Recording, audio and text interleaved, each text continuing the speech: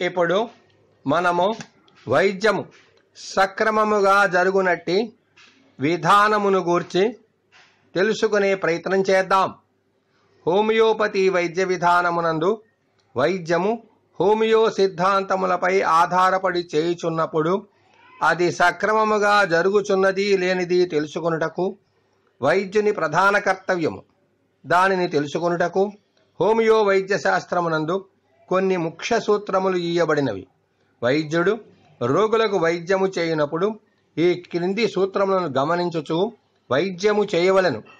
ఒకటి రోగి ఎందుగల ఏ ఒక్క వేదనకు ప్రాధాన్యత నీయక వేదనా సముదాయమునకు ప్రాధాన్యత ఇచ్చి ఆ వేదనా సముదాయము గల ఔషధమును మెటీరియా మెడికా నుండి గ్రహించి తగు పొటెన్సీలలో ఔషధముగా ఇవ్వాలి. రోగి అందుగల రోగము లోతు తీవ్రత వేగములను బట్టి తగు పొటెన్సీల పొటెన్సీలు ఎంపిక చేసుకొనవలెను. మోతాదులను అవసరమైనప్పుడు తిరిగి తిరిగి వాడుటకు కావలసిన కాల వ్యవధిని శాస్త్రీయముగా గమనించవలెను. రోగి దో దేహతత్వమున ఏర్పడుచున్న మార్పులను గమనించుచు వైద్యము చేయవలెను. వైద్యము చేయునప్పుడు రోగి దేహతత్వమున ఏర్పడుచున్న మార్పులను నాలుగు రకములుగా విభజించవచ్చును. అవి ఒకటి patient better symptoms symptoms better real cure. రెండు patient better symptoms worse real cure. మూడు patient worse symptoms better false cure. నాలుగు. Patient worse symptoms worse dangerous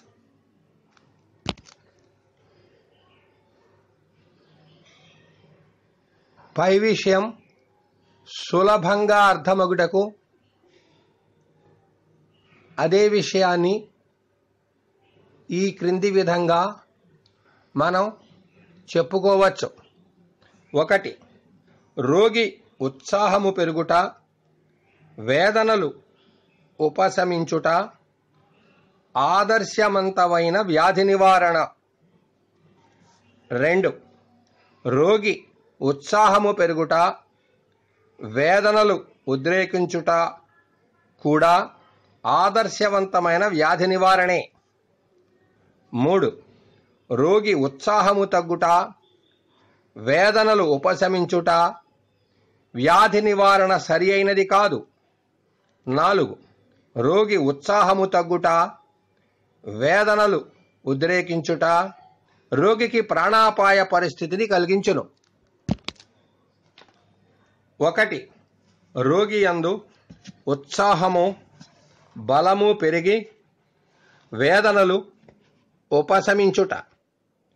రోగికి సారూప్య ఔషధమును నిర్ణయించి ఇచ్చినప్పుడు అతని ఎందుగల మానసిక ఉత్సాహము బలము పెరిగి వేదనలు ఉపశమించినచో ఇచ్చిన ఔషధము సరి అయినది. వ్యాధి నివారణ సక్రమముగా జరిగి వైద్యము ఆదర్శవంతముగా జరుగుచున్నదని అర్థము. ఉదాహరణ ఒక రోగికి తీవ్ర జ్వరము తక్కువ కాల వ్యవధిలో తక్కువ పరిమాణములో నీటిని తరచుగా త్రాగుచుండుట మృత్యుభీతి అసహనము ఆదుర్ద డాక్టర్ను చూడగానే ఈ వ్యాధితో చనిపోవునని తనను రక్షింపుమని ఏడ్చుట ఒళ్ళు మంటలు తీవ్ర ని- నీరసము వేదనలుగా గలవు ఇట్టి రోగికి arsenicum album two hundred C ఒక మోతాదు వాడగా కొన్ని గంటలలో మొదట మృత్యుభీతి అస అసహనము ఆతృత తగ్గినవి. మరుసటి రోజు దాహము ఒళ్ళు మంటలు తగ్గి రోగికి బలము చేకూరి ఉత్సాహము పెరిగను. మూడవ రోజున జ్వరము పూర్తిగా తగ్గిపోయినది. ఈ రోగికి చేయబడిన వైద్యము ఆదర్శవంతమైనది. కారణమేమనగా ఒక మోతాదు ఔషధము వేయగానే రోగి అందుగల మానసిక లక్షణములు తగ్గి ఉత్సాహము పెరిగి అటుపై జ్వరము తగ్గినది.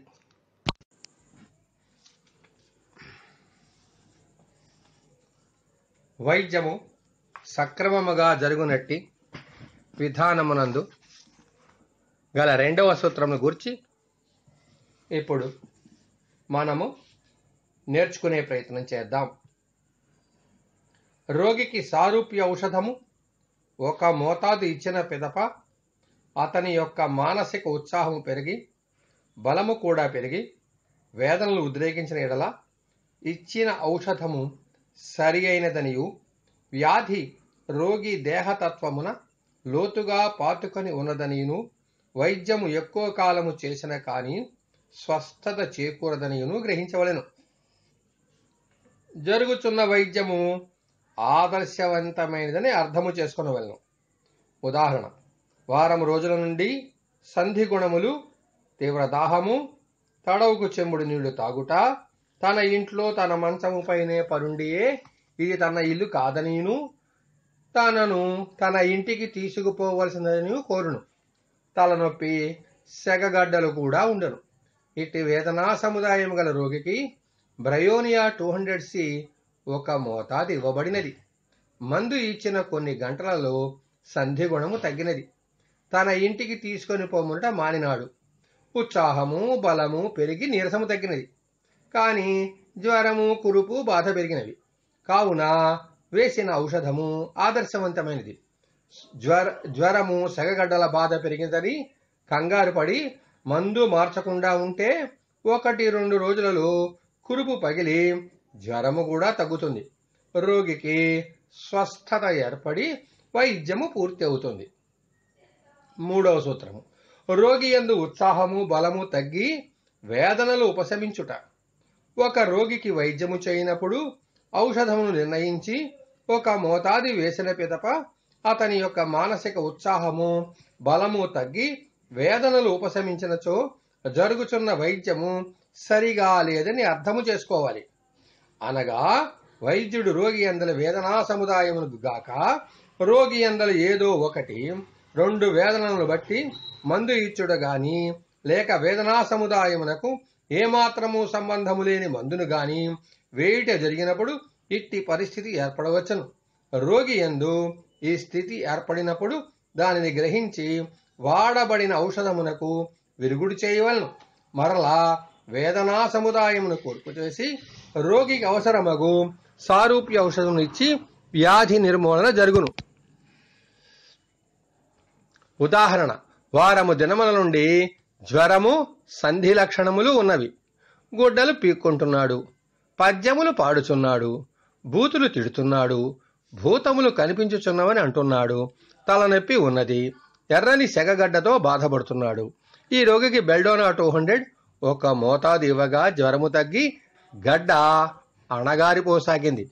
సంధి లక్షణములు అనగా గొడ్డలు పిక్కుకొనుట పద్యములు పాడుట బూతులు తిట్టుట మొదలగునవి ఉద్రేకించి రోగి ఉత్సాహము తగ్గి నీరసము పెరిగినది. ఇట్టి పరిస్థితులలో ఈ రోగికి చేయబడిన వైద్యము సక్రమమైనది కాదు అని అర్థం చేసుకోవాలి. బెల్డోనాను వాడుట వలన కురుపు అణగారినది. జ్వరము తగ్గింది. కానీ భౌతిక వేదనలు ఉపశమించినవి. కానీ రోగి మానసిక లక్షణములు ఉద్రేకించి ఉత్సాహము తగ్గినది. కాబట్టి ఇచ్చిన ఔషధము సరి అయినది కాదని గమనించవలను. వెంటనే రోగి వేదనా సముదాయమును బట్టి అతనికి హయోసామస్ టూ హండ్రెడ్ సి ఒక మోతాదును ఇవ్వవలెను. ఇట్లు చేసిన మొదట సంధి లక్షణములు తగ్గి రోగి ఉత్సాహము పెరుగుతుంది. నీరసము తగ్గుతుంది. కురుపు బాధ జ్వరము తాత్కాలికము ఉద్రేకిస్తాయి. వారిని చూ- చూచి కంగారు పడకుండా ఔషధము మార్చకుండా వైద్యము చేసినచో ఒకటి రెండు రోజులలో కురుపు పగిలి జ్వరము కూడా తగ్గుతుంది. రోగికి స్వస్థత చేకూరి వైద్యము పూర్తవుతుంది. నాలుగవ సూత్రం. రోగి యందు ఉత్సాహము బలము తగ్గి వేదనలు ఉద్రేకించుట. రోగికి వైద్యము చేయనప్పుడు వ్యాధి నివారణకు సారూప్య ఔషధమును నిర్ణయించి ఇచ్చినప్పుడు అతని మానసిక ఉత్సాహము బలము తగ్గి వేదనలు ఉద్రేకించినచో రోగికి ప్రాణాపాయ పరిస్థితి సంభవించబోచున్నదని అర్థము చేసుకునవలను. ఎట్టి స్థితి వ్యాధి నివారణకు సాధ్యము కాదని స్థితి శరీర ధాతువులయందు ఉన్నప్పుడు జరుగును. ఇచ్చట రోగికి వ్యాధి నివారణ సాధ్యము కాదని తెలియవలెను. ఎట్టి సందర్భములలో రోగి యొక్క ప్రాణశక్తిని వృద్ధి చేయునట్టి ప్రమాదము లేని మందులు మందులను సారూప్యము లేకపోయినను వాడుచున్నచో రోగి సుఖముగా చనిపోవుటకు వీలగును. సరిగా సారూప్యత కలిగిన మందును ఈ కేసులలో వాడినచో రోగి త్వరగా చనిపోవును. ఉదాహరణ కీళ్ళ నొప్పులతో బాధపడు రోగికి రూస్టాక్ టూ హండ్రెడ్ ఒక మోతాదును ఔషధముగా నిర్ణయించి వైద్యుడు మందుగా ఇచ్చాను. కీళ్ళ నొప్పులు ఉద్రేకించి నీరసము పెరిగి ఉత్సాహము తగ్గి గుండెదడ ఆయాసము పెరగసాగినది.